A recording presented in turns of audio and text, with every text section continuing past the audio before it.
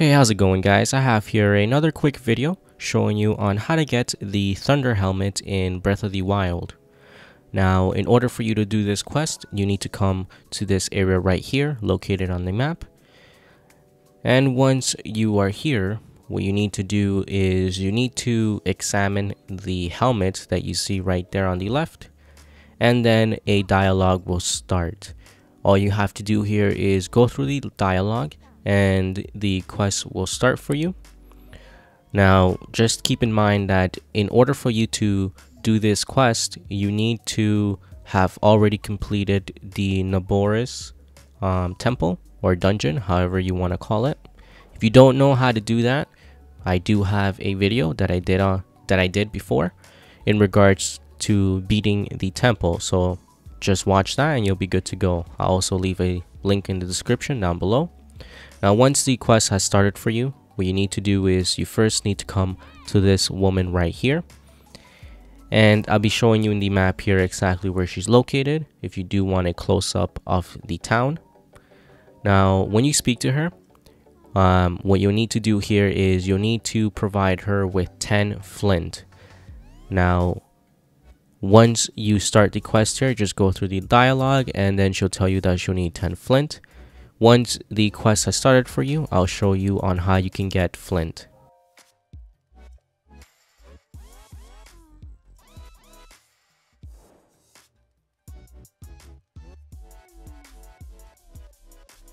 Now, an easy way that I got flint was by going to the Eldin region. And I mostly spent my time on the southern mine, as you see right here all I did was picked up the hammer and used the hammer on these shiny black rocks. Now, sometimes they'll provide you with flint, sometimes they won't. It's pretty much just by luck, I guess. And once you go around the southern mine and broken all those rocks, you can try exploring the mountains in the Eldin region, and you should get 10 flint really easily.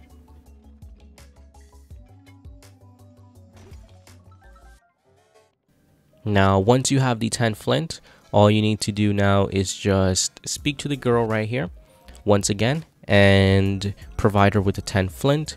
Once you speak to her and give her the flint, she'll be thankful and she'll provide you with a reward. Now, for this specific reward, you get to choose on what you want. You'll have three options. And once you pick, um, she'll make that specific item for you. Now, each item from the options that you have right there um, has different bonus effects. So she'll tell you what they do. So you you get you you'll have the chance to uh, go through them. So yeah, once you do that, the quest has been completed, and then we'll move on to the next quest.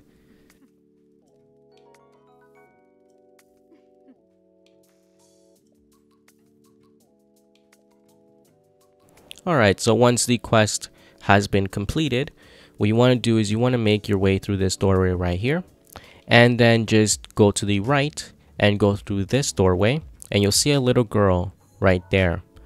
Now here is the map location of exactly where she is. Now for this quest, you'll need 10 wild berries.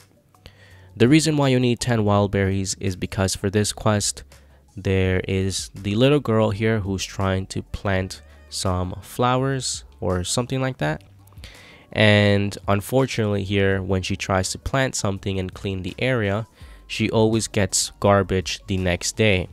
So what we need to do is we need to get to the bottom of it and find out who's polluting the area.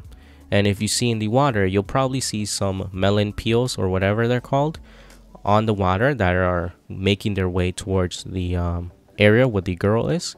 So all you need to do is just follow it or you can just follow the way that I'm going right here. And then you'll see that there is a woman eating a hydromelon. Now all you need to do is speak to her and go through the dialogue. Once you go through the dialogue, the woman will tell you that she'll stop polluting the area if you can provide her with 10 wild berries. Once you once the quest has started for you, I'll be able to show you on how to get the wild berries.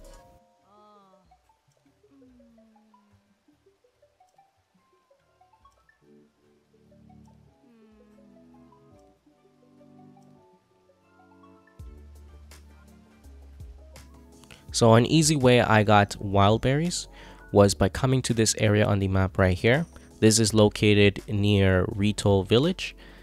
Now once you are here, um, you're gonna notice that there are some wild berries on bushes right here and there's also some wild berries located around the this area right here around the stable as well now if for any reason you don't have enough to complete the quest what you can do here as well is you can go to the um, Gerudo Highlands, which is the snowy area in the Gerudo region, and you'll be able to find some wild berries there as well. I just found this the easiest way to get the wild berries because it didn't require any sort of effort. But if you do need more, just make your way to the Gerudo Highlands.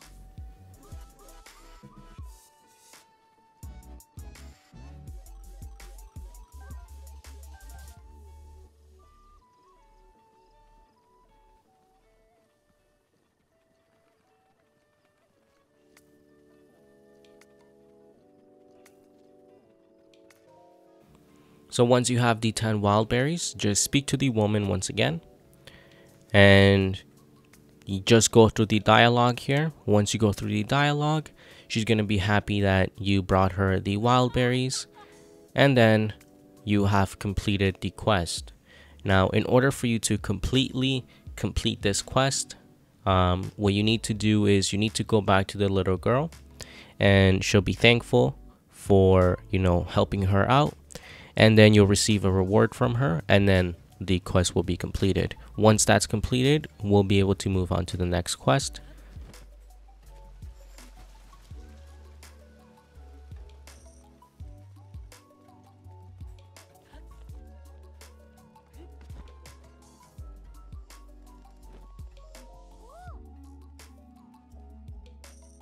So as you, as you can see here, um, all you have to do is just talk to the girl once again and she'll provide you with a hydromelon uh, as a reward. And then all you need to do now is move on to the next quest. The next quest will be right in front of you. All you need to do is just walk straight from here. And past the doorway you'll see some soldiers that are lined up. And there's a soldier uh, facing them as well. You need to speak to that soldier and you'll start the next quest Now, just to let you know here for this specific quest, you'll need a hearty durian. Now, in order for you to get a hearty durian, you need to go to the Faron region. If you don't know on how to get uh, hearty durians, I have a video that I did separately showing you on how to get them and an easy way to get them as well. So I'll leave the link in the description down below to show you that as well. And yeah, that's pretty much all you have to do. For once the um, quest has started here, we are going to have to teleport to the Leviathan Bone located in the Gerudo region. Now, you're going to see here in the map exactly where it is. The Leviathan Bone has a shrine on it as well, which is where I'm teleporting to.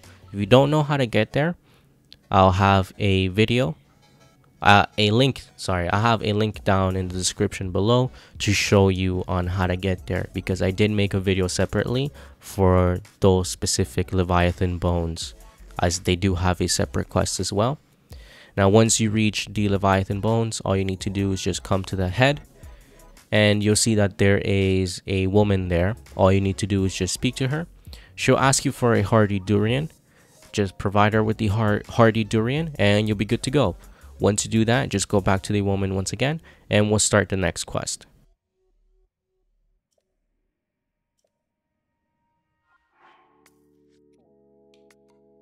Also, if you are watching this video right now, uh, you might hear some background music compared to the um, Zelda music that the game has. The reason why is because I am trying to avoid any sort of content ID for playing the um, in-game audio so yeah if you do hear um you know any different type of music or anything like that then that's the reason why. I'm still not decide i'm, I'm still not sure on what to do about that. So yeah that that might be something that you'll hear. So once you speak to the woman here Um, like I said, all you have to do is just go back to Gerudo Town, speak to the soldier once again, and you have completed the quest. She'll give you a silver rupee as a reward, and then we'll be able to move on to the last quest. Now, just to let you know, for the last quest, you'll have to do it at noontime only because it doesn't, you can't get the quest in the morning or in the night. It has to be specifically noontime. And it's in the same area as you were before where you got the um, third quest. So all you need to do is just speak to this woman right here and she'll tell you that, you know, her husband is sick and the only cure is by getting a specific monster part. Now, unfortunately, I don't know how to pronounce the name of the monster, so I'm not going to even try. But all you have to do is just get the um, part from that monster, and then you will have completed the quest. I'll be able to show you exactly where that monster is and how you fight it. And yeah, so once you once the quest starts here, I'll be able to show you that. So I'll see you guys there.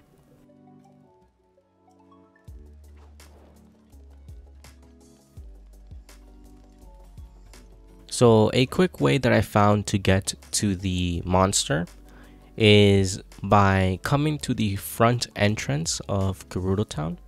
And if you climb the wall right here that you see in front of you, you can actually paraglide towards the sand seals and you can use the sand seal as an easy way to get to the monster.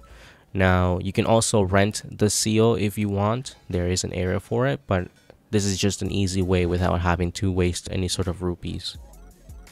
Now the area for the monster is right here on the map as you see on the screen right now.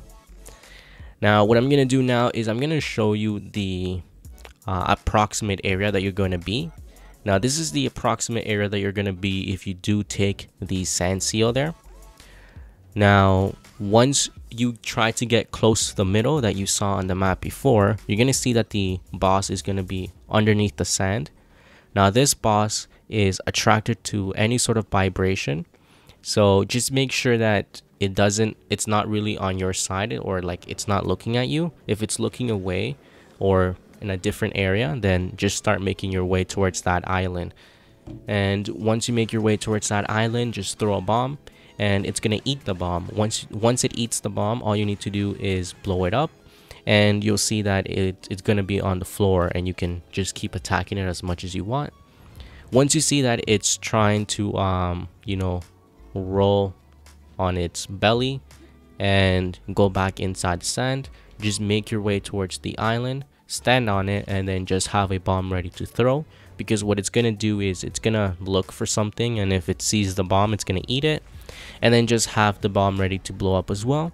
And then just keep attacking again. All you have to do is just rinse and repeat this until you have killed the boss.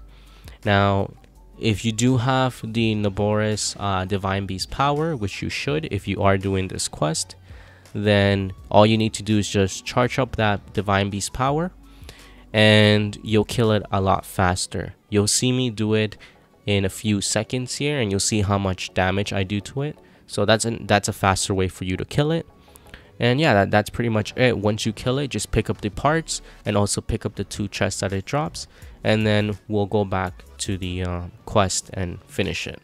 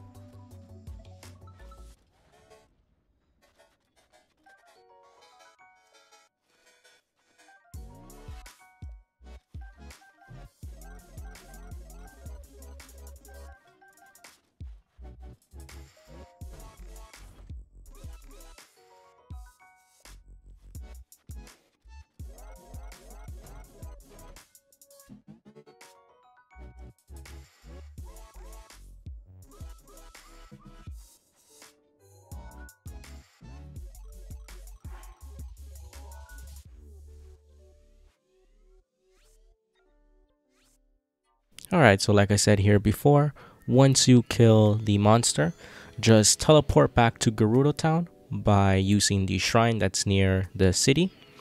Now, once you get there, all you have to do is just speak to the woman that gave you the quest. Just make sure it's noontime because, like I said before, she only shows up during noontime.